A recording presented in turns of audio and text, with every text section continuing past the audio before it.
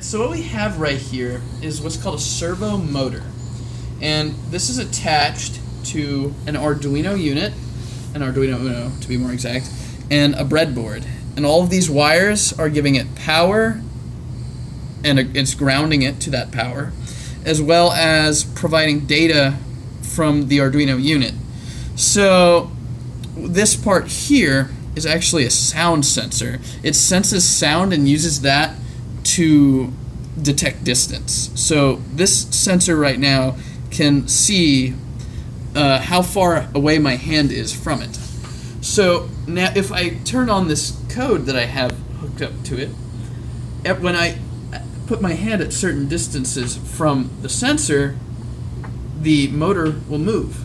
So enter the start command and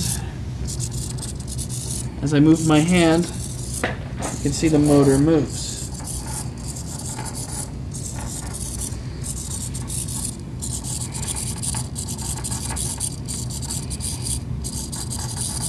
Anything else you want to say? No, that's it. And if I enter this, I can stop it.